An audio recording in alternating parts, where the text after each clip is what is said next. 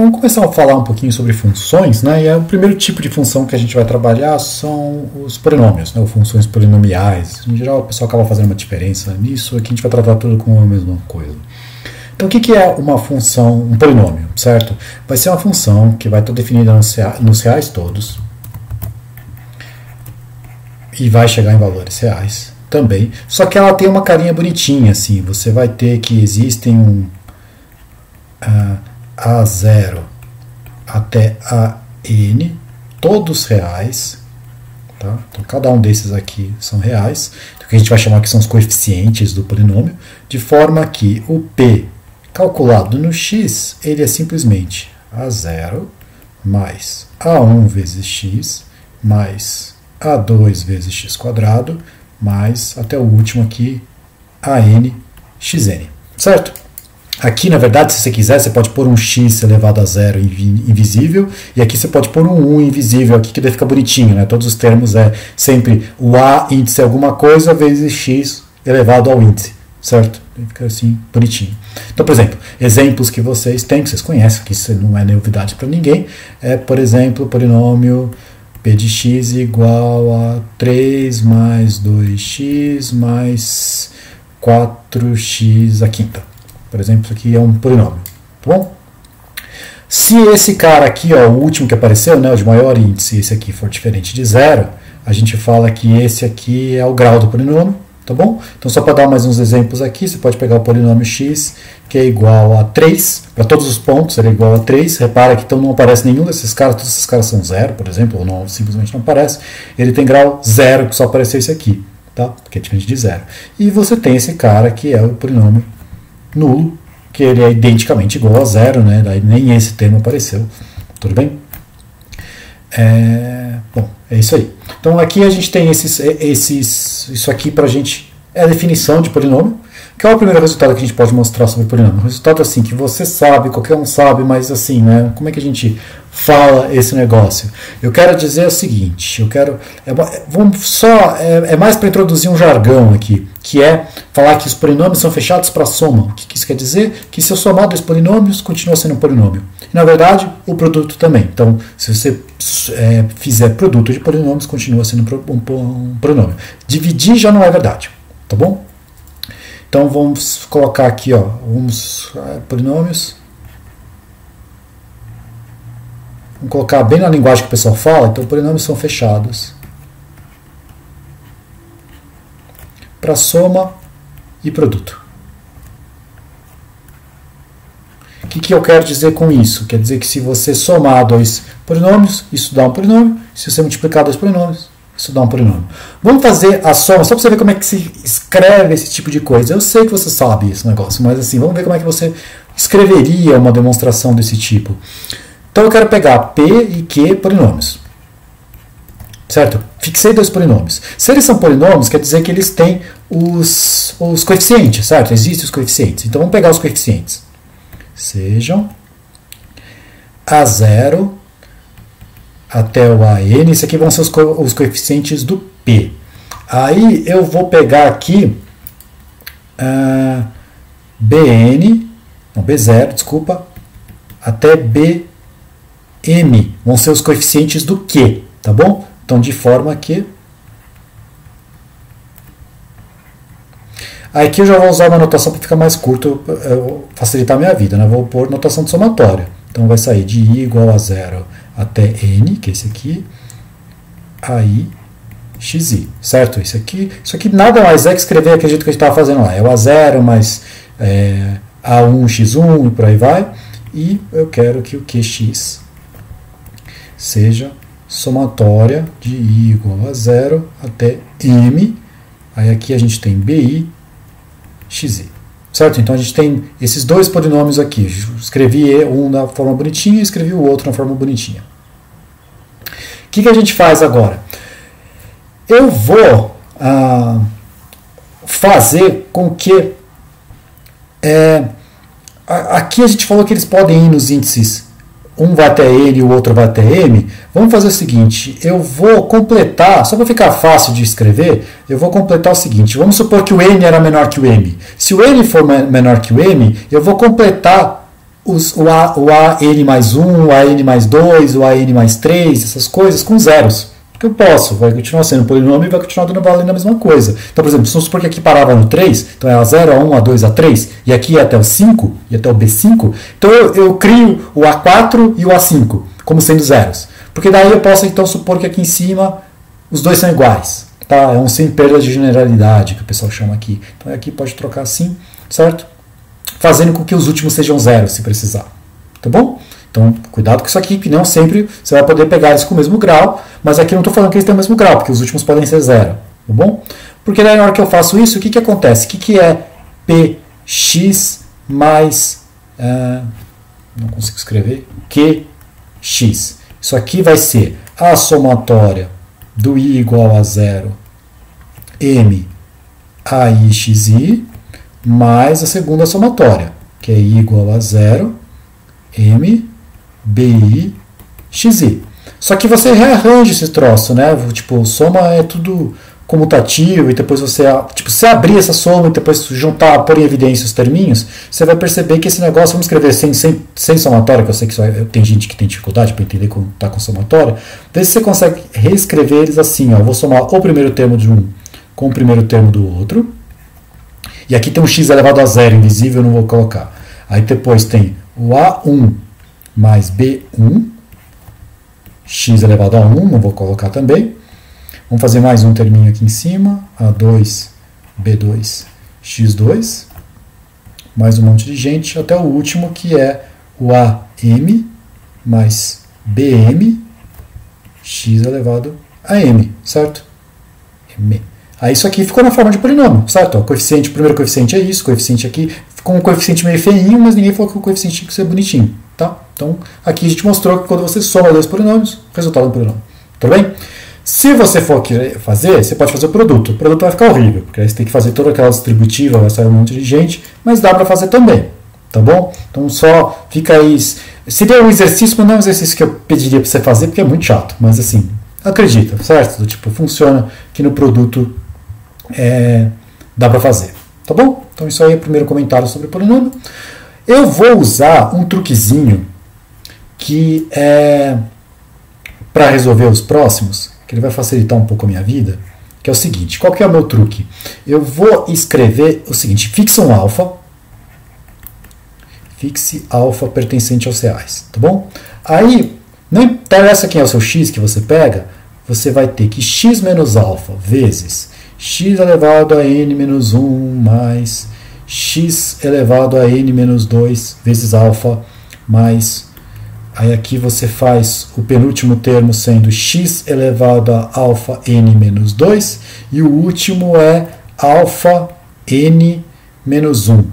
Pensa assim, ó, aqui você começou com alfa elevado a zero, que está invisível, Aí aqui apareceu o alfa elevado a 1, aí vai aumentando, aumentando, aumentando até chegar no alfa n-2 e o último é o alfa n-1. O x é o contrário, ele começou com n-1, aí ele diminuiu para n-2 e ele foi chegando aqui, que aqui é o elevado a 1, até que ele chegou aqui no elevado a 0. Tudo bem? Então tenho esse carinha aqui vezes tudo isso. Isso tudo é igual a é, x elevado, opa, x elevado a n menos alfa elevado a n. Tá? É uma conta. Se você distribuir esse troço e fizer e não tiver cansado, você chega nisso aqui. Tudo bem? Então você consegue fazer isso aqui. Então, você tem para qualquer x que você pega e um n pertencente aos naturais maior que zero.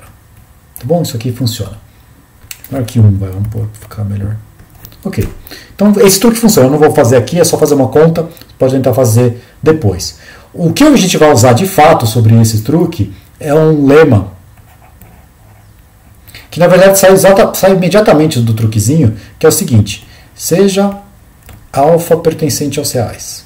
Tá bom? Então. Ah,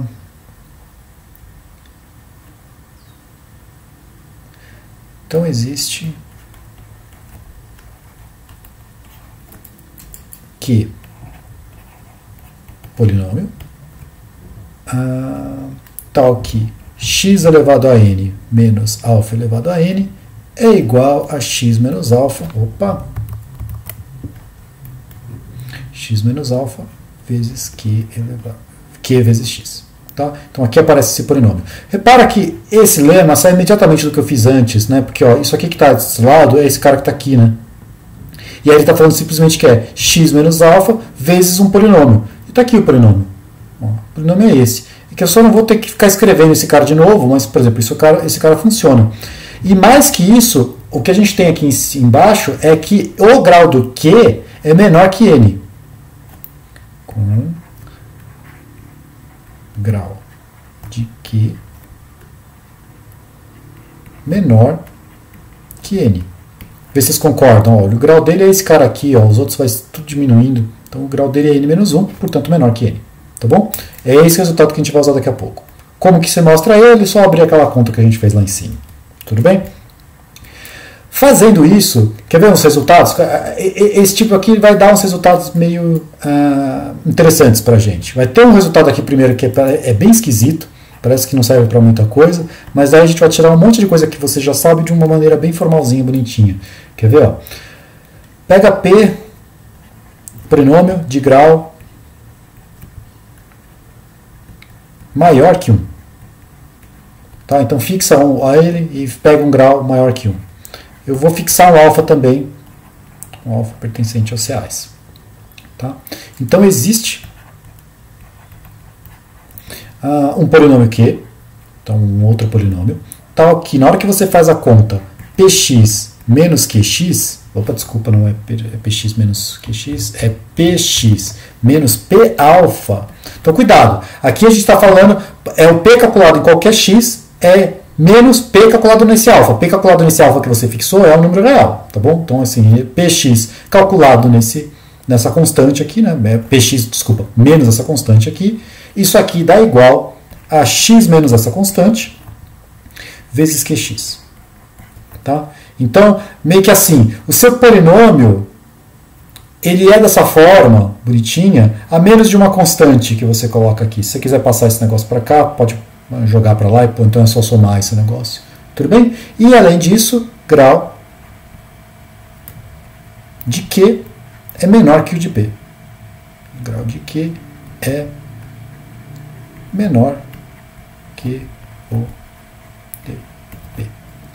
Tudo bem? Então, assim, só reescrevendo ele, você consegue passar ele ah, para o outro lado. Quer ver como é que a gente faz esse negócio? Ó? Se você quiser, você começa a fazer o seguinte. Ó eu vou escrever, uh, vou pegar quem são as, uh, os coeficientes do P. Então, vou pegar A0 até o AN, de forma que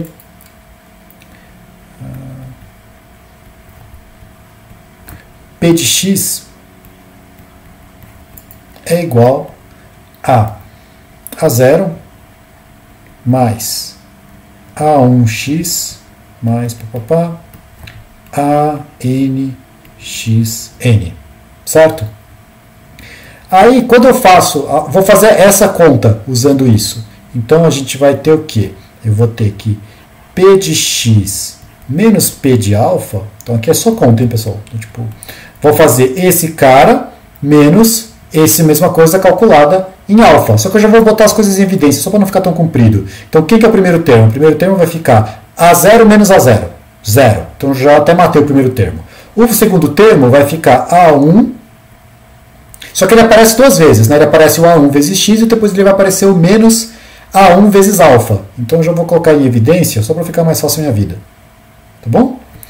Vou desenhar o segundo aqui, vai ficar A2, ele aparecer multiplicando o x quadrado e depois ele aparecer com um menos na frente, multiplicando o alfa quadrado. Certo? Até o último termo, que é, é a n xn menos alfa n. Certo? Sem maiores ah, dúvidas aqui. Ok? Só que agora olha que legal. Se você olhar esse termo, esse termo, esse termo, todos eles têm essa cara aqui. Ó.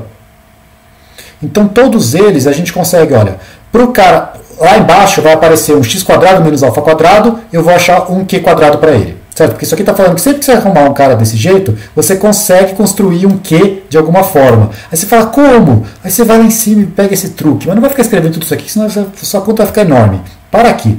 Tudo bem? Então eu vou trocar o x quadrado menos alfa quadrado por um Q2. fazendo essa continha aqui. O x quadrado, o x ao cubo menos alfa cubo, vou trocar pelo Q3, certo? Então vamos lá. Então, pelo truque, né, ou pelo, pela proposição anterior, feita várias vezes, a gente vai conseguir reescrever esse negócio assim. Ó. A1, esse primeiro não tem que fazer nada porque o Q é 1, né? então é, aqui já está na forma bonitinha. Mas esse outro vai ficar A2, uh, x menos alfa, e aqui é um Q2 que eu não sei quem é. Tudo bem? Eu sei até se eu for lá em cima, mas é uma conta que eu não quero saber, na verdade. Eu sei, mas eu não queria. Até o último, que vai ser AN, x menos alfa, QN, x. Então eu peguei o polinômio 2, o polinômio 3, o polinômio 4, até o n, né? E o primeiro só que eu sei que é 1, tá bom? Fiz isso aqui. Só que agora, olha, a gente pode botar em evidência todos esses carinhas aqui, né? Esse, esse x menos alfa, bota x menos alfa em evidência, que eu vou colocar assim, ó, x menos alfa. E aí quem sobrou lá dentro? Sobrou A1 mais A2Q2X mais AN QNX. Tá certo? Que, agora para um pouco e vamos ver o que, a gente está fazendo. Certo? O que, que eu queria mostrar? Eu queria mostrar que px menos p alfa era x menos alfa vezes um polinômio q, onde o grau q era menor que p. Tá bom. O que, que eu consegui? Eu fiz px menos p alfa, fiz um monte de conta e cheguei à conclusão que era x menos alfa, que é o que eu queria, vezes esse trambolho. O que, que eu queria que esse trambolho fosse? Um polinômio de grau menor que n, né? Que n é o meu grau do meu polinômio p. Bom, vamos ver. Qual que é, que é o grau desse Q2? O grau do Q2 é menor que n porque foi assim que a gente tomou ele, certo? Na verdade, ele é menor que quadrado aqui. Até esse aqui que é menor que n, o qn também tem grau menor que n. Então, todos os polinômios que apareceram aqui têm grau menor que n. É um exercício fácil que constante vezes um polinômio, o grau só pode no máximo descer, certo? De repente você zera ele. Então, esses polinômios aqui, todos têm grau menor que n, e na hora que eu somo polinômios, todos que têm grau menor que n, o resultado é um polinômio de grau menor que n. A gente já sabe que é um polinômio, só falta verificar que o grau é menor que n, mas isso é um exercício, você consegue ver que o grau de fato diminui. Então a gente conseguiu provar o que a gente queria, só abrindo aqui fazendo as contas. Tudo bem? Beleza, vamos tentar agora usar esse resultado para alguma coisa. Bom, antes de a gente continuar, só para facilitar aqui a nossa vida, ó, se você pegar um alfa e calcular que P no alfa dá zero, a gente fala que alfa é raiz de P. Esse é o termo que dá, que você já conhece, e tudo bem.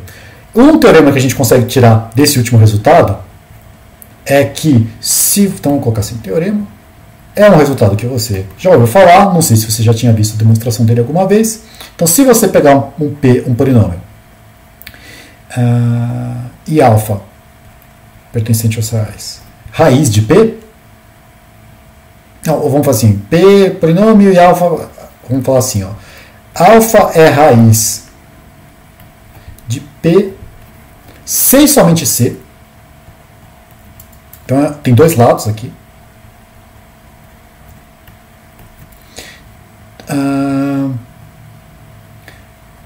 P de x é igual a x menos alfa vezes Q de x. E o QX é um polinômio que tem grau menor que P. Tá bom? Então, Q com grau menor que P.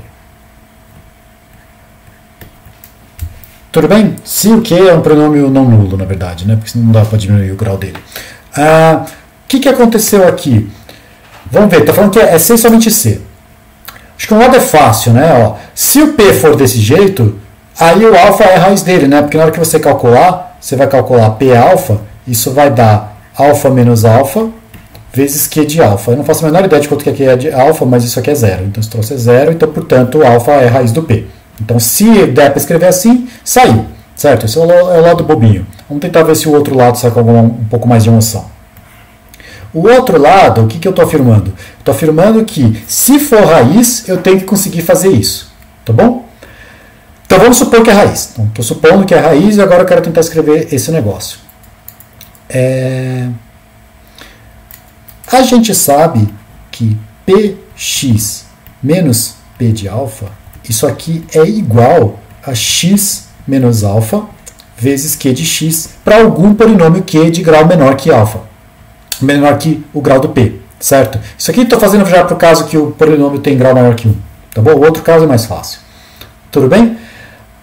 Só que agora, olha o que, que você escreveu aqui. Né? Tipo, isso aqui, você, a, gente prova, a gente acabou de provar isso, né? Se você voltar lá, é a proposição que está escrito aqui em cima. Ó. P de x menos P alfa é x menos alfa vezes um Q de x para algum Q de x. Simplesmente fiz isso. Só que agora eu estou supondo que o alfa é raiz do polinômio. Então esse termo é zero. Então simplesmente você tem que P de x é igual a x menos alfa vezes Q de x, que era o que você queria mostrar. Então não precisou fazer nada. Tá certo? Estava só disfarçado todo esse tempo. Tá bom?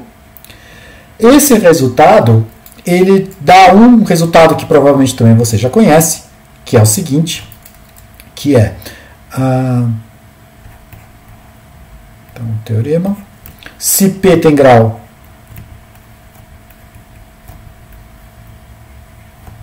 n maior ou igual a 1, então P tem no máximo n raízes. Tudo bem? Como é que você faz esse negócio? Esse aqui é, é, um típico que, assim, depois que a gente, a gente vai fazer indução mais pra frente, aí a gente volta nesse aqui, porque com indução isso aqui fica bem mais fácil de explicar. Mas como a gente não tem indução por enquanto, vamos fazer sem indução. Se você já sabe indução, tenta fazer isso aqui por indução. Mas se não, vamos tentar aqui fazer do jeito que a gente sabe, tá bom? Então, é um argumento meio, meio chatinho aqui que a gente vai fazer. Ó, se você tem que... Uh, você pega uma raiz do P, certo? Se você começou com uma, uma raiz do P, você vai escrever que o P de x ele é igual a x menos alfa vezes esse Q de x. Tudo bem? Onde o, o, o grau do Q é menor que o do P. Tá bom? Bom, mas agora o que, que acontece? As raízes do P ou são raízes que estão aqui, que é o próprio alfa, ou é uma raiz que está aqui. Tem que ser alguém que zera isso aqui, né? Porque se isso aqui deu zero, essa parte tem que dar zero, ou essa parte tem que dar zero. Então, se o P tiver mais alguma raiz, é uma raiz de Q. Só que eu aplico o mesmo resultado para o Q. Tipo, vamos pensar que agora beta seria uma raiz do Q. Então, você teria aqui que é x menos alfa, uh,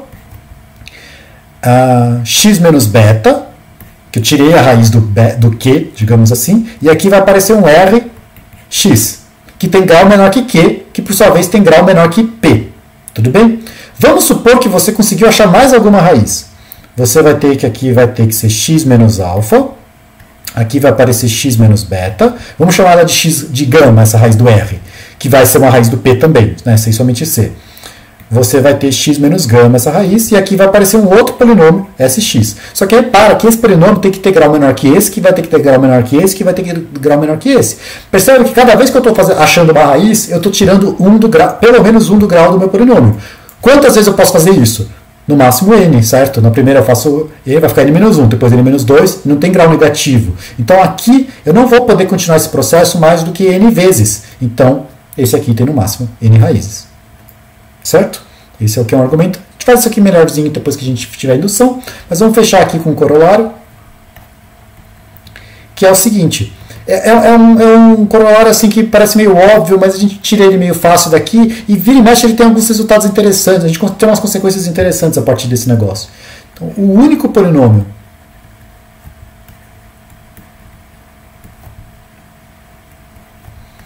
com infinitas raízes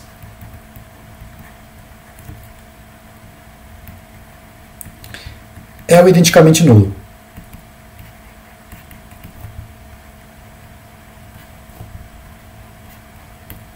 O que, eu quero dizer? Pega o polinômio p de x igual a zero sempre.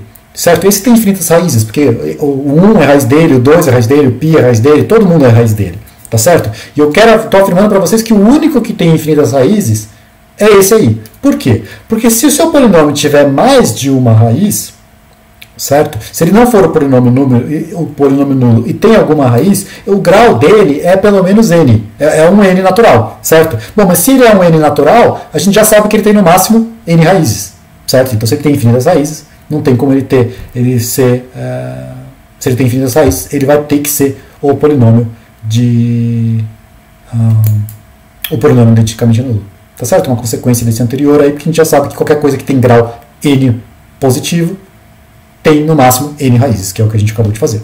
Tá certo? Então é isso aí por enquanto.